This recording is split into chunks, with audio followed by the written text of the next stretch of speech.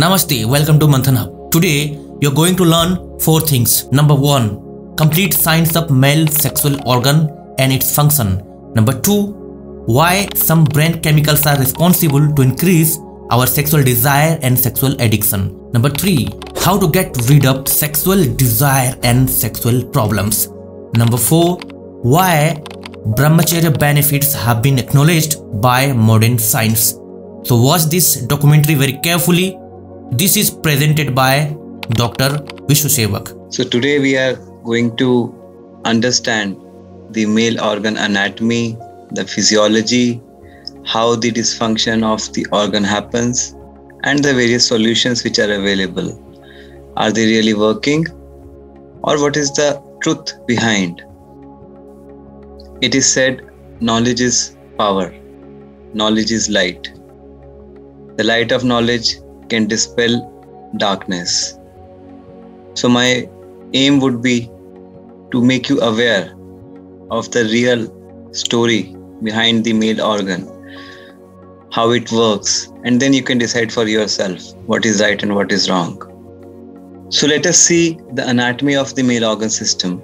Outside part of the male organ system is called the penis, and there is scrotum in which lies the testis, while the internal organs include the seminal vesicles, the vas deferens, which is the tube which passes from the testicles, carries the sperms to the urethra, from where ultimately the sperms come out.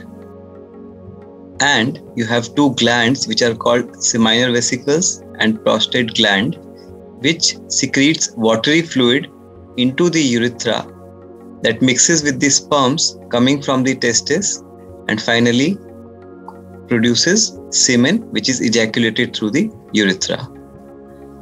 Just above the prostate, you have the bladder where the urine is filled, and behind you have the colon, which is the large intestine. Now let us understand the process of erection. How does erection really happens? We see it from outside, but what is happening inside? Let us see. So, you know, when the organ is in flaccid state, the blood vessels around are not flooded with blood.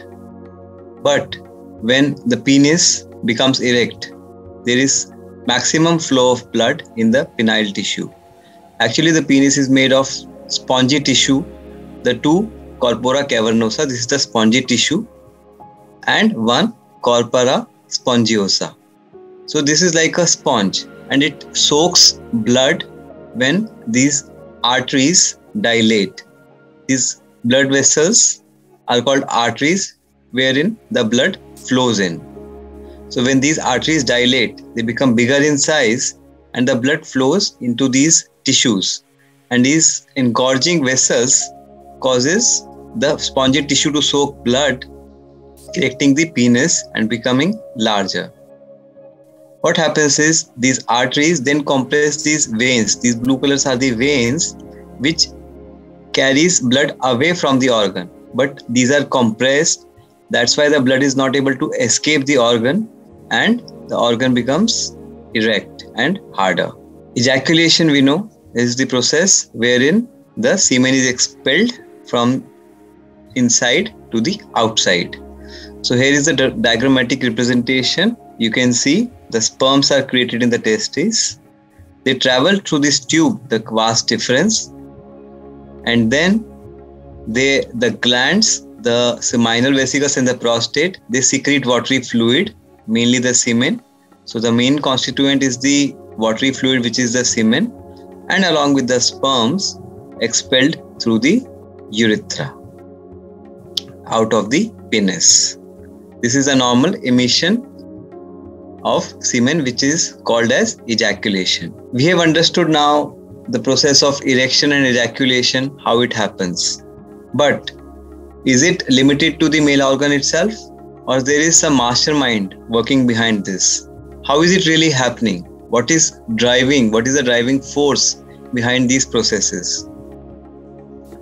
So, as we say, mind is the main player and mind is the main master, and this organ is just a player. to say that, I mean to say that the main organ, the brain is the main sexual organ, which, when stimulated by various stimuli like the visual, so if you see something erotic, like tactile, if something sensuous touching is there, like you hear some some obscene or some sensuous things, or some smell, some erotic smell, what happens is the brain gets stimulated and through the nerves which are carried in the spinal cord they stimulate the erectile nerves and which ultimately causes erection and ejaculation through the penis.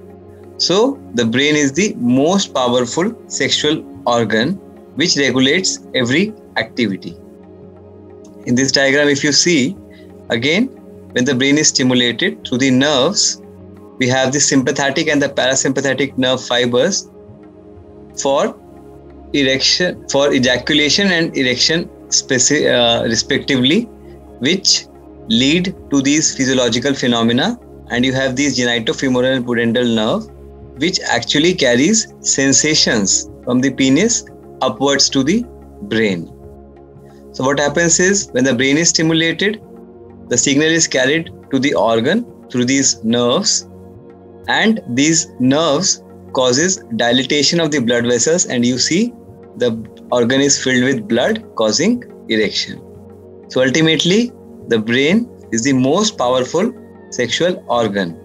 What we think is happening down is actually happening up and what is happening down is just the tip of the iceberg which we see from outside actually everything is happening in the brain this is a very high resolution image of the brain. This is not a normal scan. This is called as functional MRI. This is usually done in research labs. And they saw that when the man is stimulated by any uh, visual stimuli or any tactile stimuli, this particular part of the brain is stimulated. This is called the anterior cingulate cortex. So this part is the main part from where the sexual stimuli arises. We now understood that the brain controls the activity of the sexual organ. But how does it happen? What is happening at the molecular level or the chemical level? Actually, it's the interplay of the chemicals in the brain which does all the things. And the one of the main chemicals is dopamine. You all have heard of this name, dopamine which is the pleasure hormone. So, what happens is when there is a stimulus, we have already, and sometimes if you imagine, you have already the memory of what uh, this imagination is, then there is release of dopamine from these nerve cells, which are neurons in the brain. And this release of dopamine excites the male organ through these receptors, the dopamine receptors.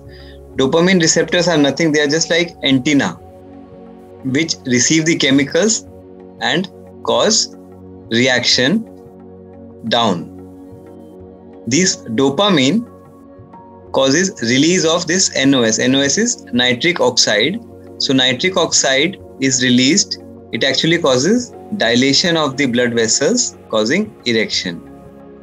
The area where the dopamine is released is mainly the paraventricular nucleus and also another area which is called as the medial preoptic nucleus.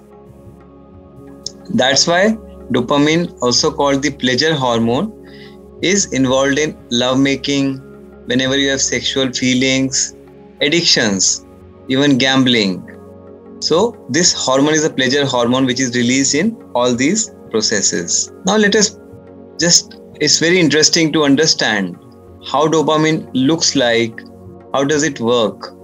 So once you understand your own physiology, you will be able to understand how the things are happening. So this is this picture is a, a very rare picture. This is electron microscope picture. This is not seen with naked eye, not with even normal microscopes, very highly powerful electron microscopes, which see very very minute things so this is this purple colored particles round particles are dopamine these are nerve cells or the neurons in the brain. So dopamine is released from the nerve cells and they attach to the receptors on the other nerve cell. So for example, if you see this is one nerve cell, this is another nerve cell, dopamine is released and they attach to the antenna-like receptors. Antenna are which catch the signal. So dopamine is the signal and these receptors are the antenna which catch this dopamine and pass the signal down. So if you understand in this, dopamine is released in the brain and through the neurons, it passes the signal down through the spinal cord and finally to the male organ. Now we have understood that actually the dopamine is the main chemical which is released in the brain whenever you are stimulated, whenever we see anything, anything, uh, whenever we see, whenever we hear, or whenever we feel the touch which, is, which stimulates us. Then the dopamine is released, and that causes the series of changes in the male organ. But what controls this production of dopamine in the brain? It is the front part of the brain this is the front part of the brain. So it is called the frontal cortex.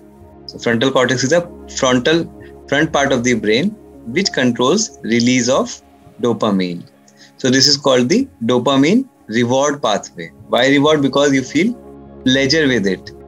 So if you see, this is the dopamine, and when this part is stimulated, it causes increased production of dopamine from this region, which is the nucleus accumbens and the ventral tegmental area, and do- increased dopamine release, the signal passes down and causes changes in the blood vessels, causing erection and the process of ejaculation.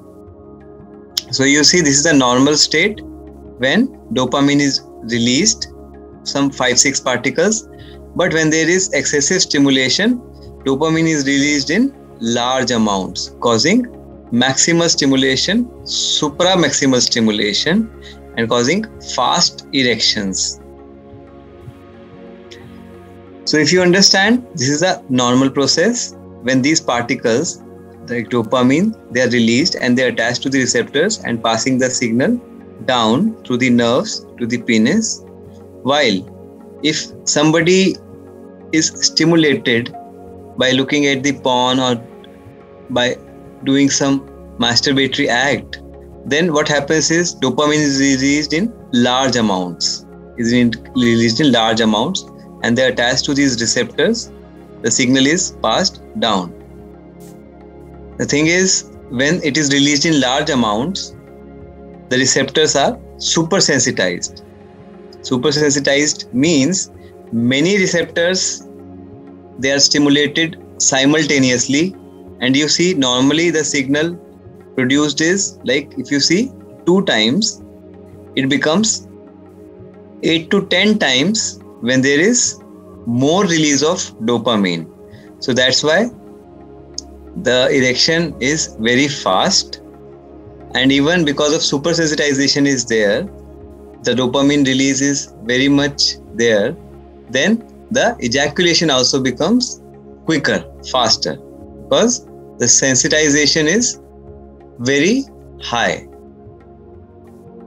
But what happens is, with time, as the receptors are made to work, made to work constantly at a high speed, and if, and if anybody is made to work continuously, he tends to become tired. Same happens with these receptors. They become tired, which we in scientific terms we call as down regulation or desensitization of receptors.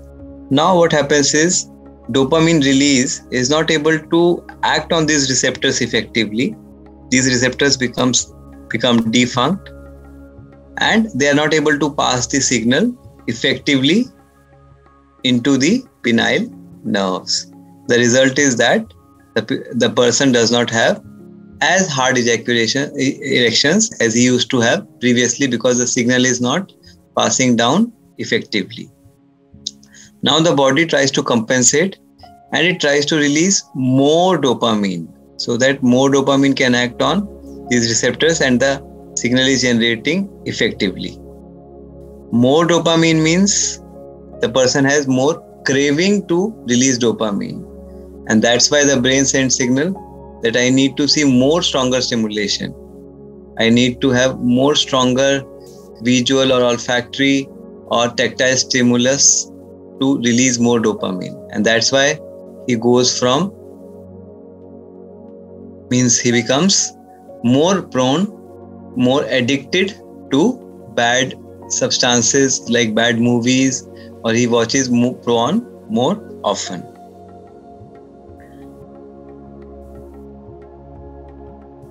Now, we have understood that the frontal cortex, the front part of the brain, controls the dopamine system, and the dopamine system controls the penis actions, what is happening, like the erection and the ejaculation.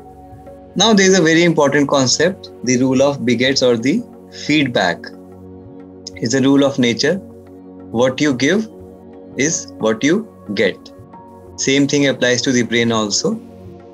So, when the dopamine is released, this is the area from which the dopamine is released. The dopamine is the pleasure hormone.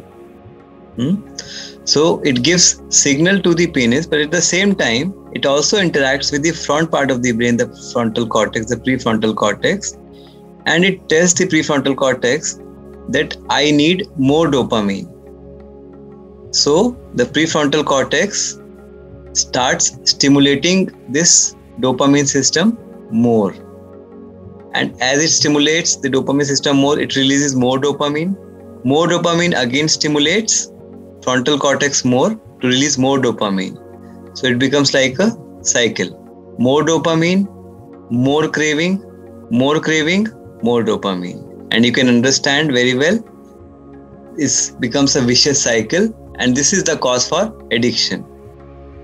Now, even if the patient or if the person does not want an, a particular act or he understands that it is going to harm me, even then he is not able to control his feelings or emotions because the craving is so high that dopamine the body needs dopamine and this is called as addiction. So the dopamine by the reward system or feels pleasure it stimulates prefrontal cortex and by the mechanism of incentive salience and more wanting there is craving and that craving or the compulsion to do is a trigger for porn or masturbation which again releases dopamine and this cycle continues. This was very well elucidated in this journal which was published in behavioral sciences so what is this prefrontal cortex what is really the function of this uh, part of the brain. This is called the thinking brain. It is the front part, as we have seen, that serves five major functions. Number one, it gives us the power to understand difficult things and grasping them fast. It performs the function of expression of one's personality. So, how is your personality? How do you behave? What do you think?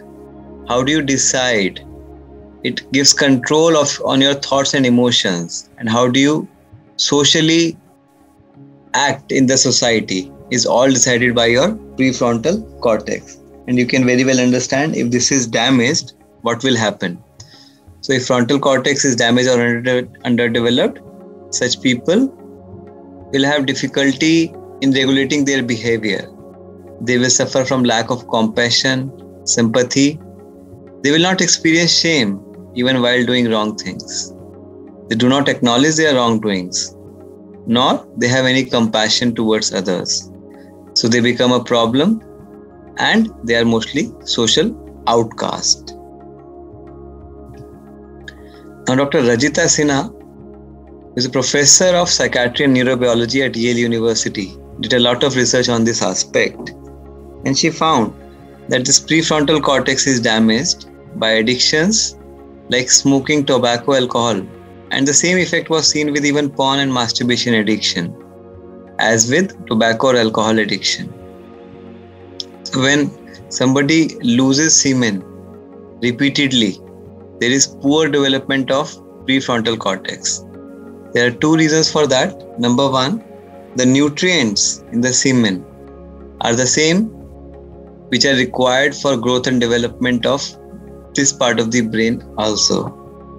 And number two, because of repeated cravings, this part undergoes changes and it does not develop completely and fully. The dopamine, which is a craving hormone, increases to pathological values, while serotonin, which is the antidepressant hormone, its levels comes down with repeated loss of this vital energy through masturbation and illicit sexual intercourses. How does it really happen? So, this is a complex diagram. You may not un- need to understand this complex diagram, but to make it simpler, what happens is when there is constant activity of masturbation or porn addiction, the dopamine is released in large amounts and it even causes changes in the DNA. DNA and this DNA produces abnormal protein and this protein through chemicals acts on this frontal cortex and does not allow it to develop fully. This part of the brain usually develops maximally by 25 years of age. And that's why in Indian culture brahmacharya is promoted and is recommended at least till 25 years of age. Why?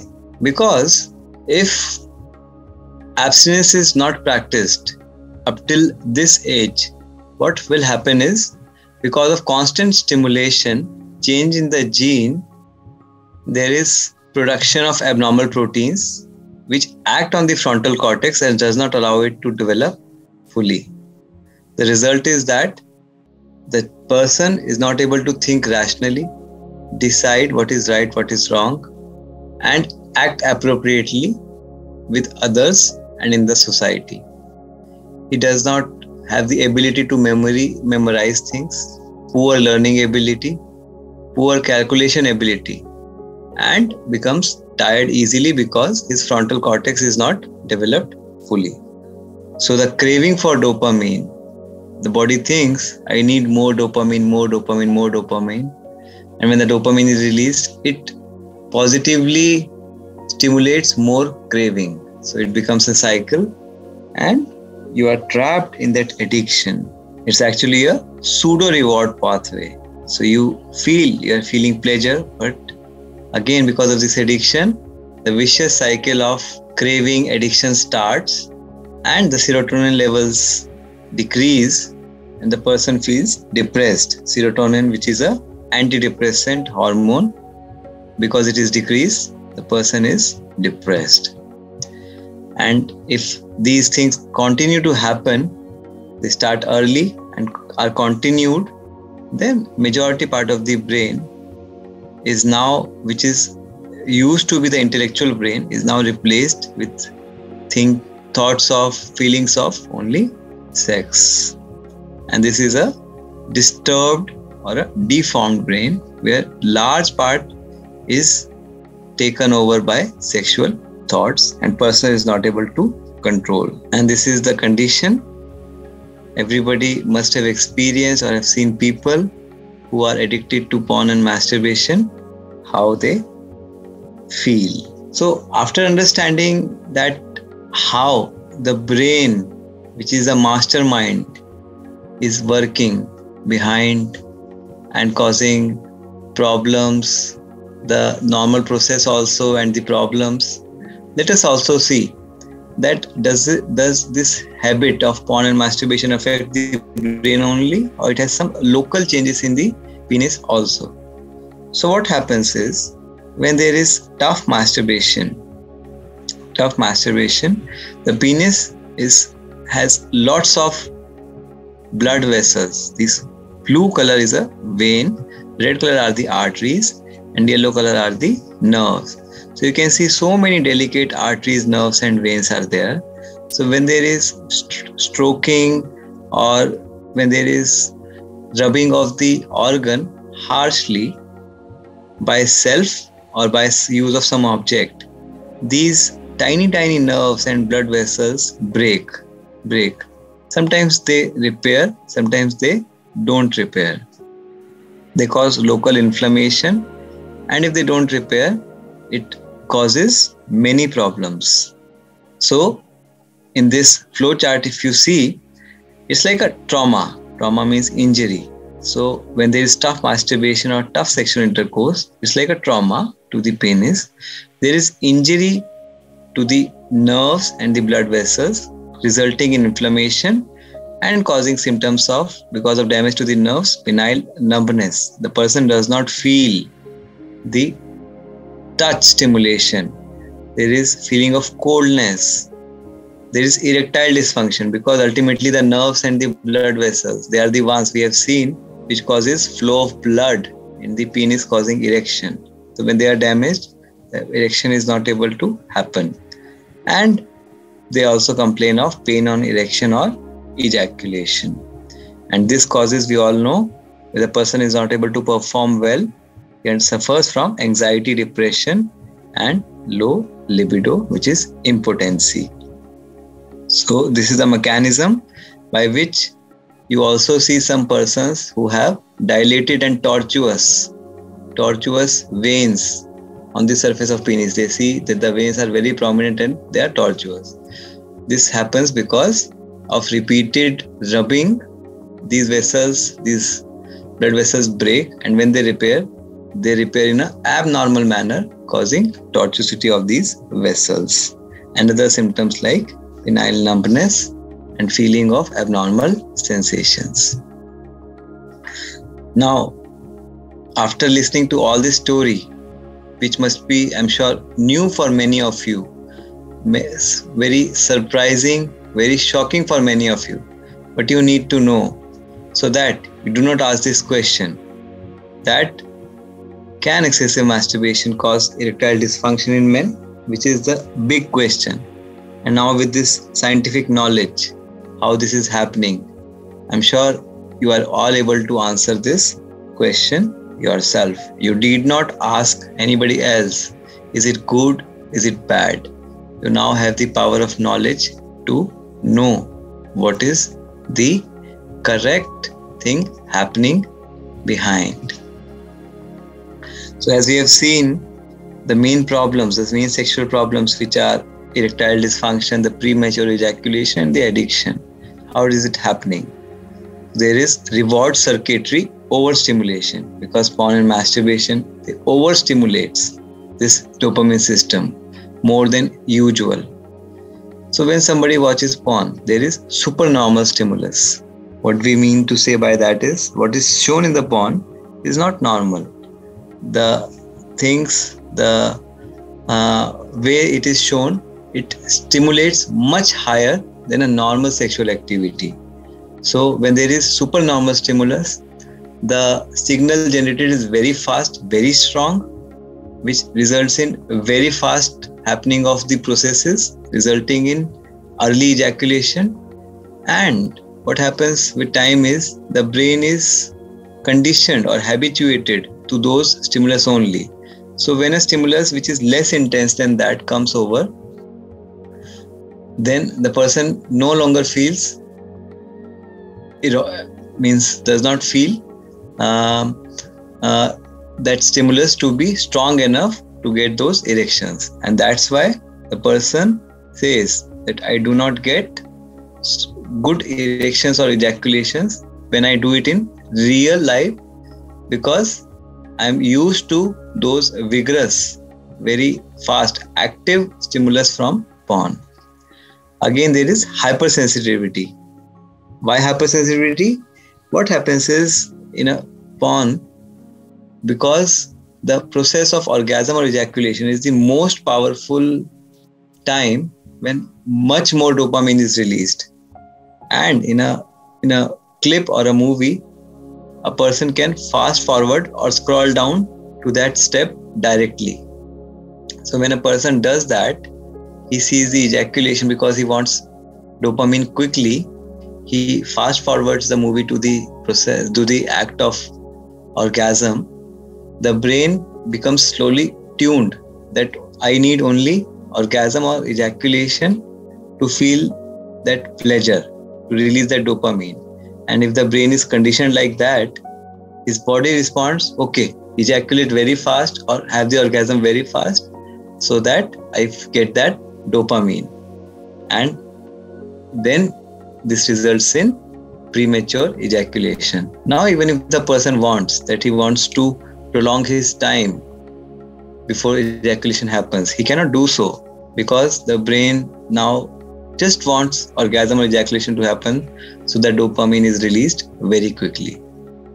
And this is the basis for premature ejaculation. As we as we have seen that with time there is tolerance or habituation. The receptors get desensitized. There is down regulation of receptors so that much more dopamine is released uh, needs to be released so that the nerves are stimulated.